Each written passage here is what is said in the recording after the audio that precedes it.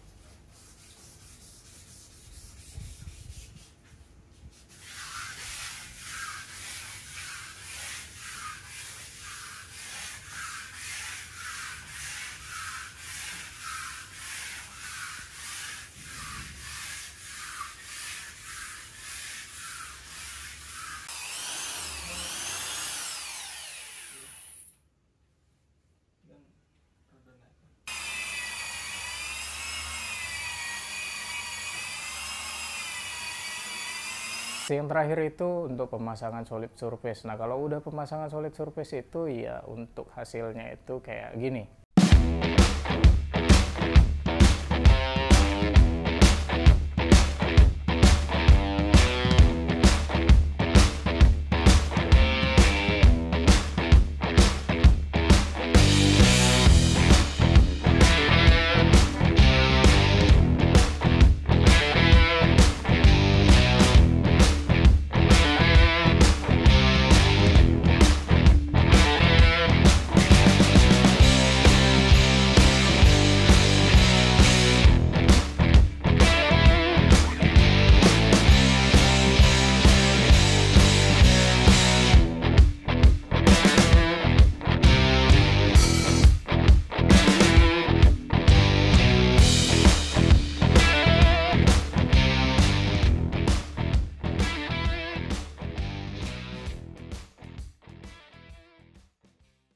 Oke, mungkin segitu aja video dari saya. Semoga video kali ini bermanfaat. Sekali lagi tetap kreatif, semangat berkarya, dan sampai jumpa.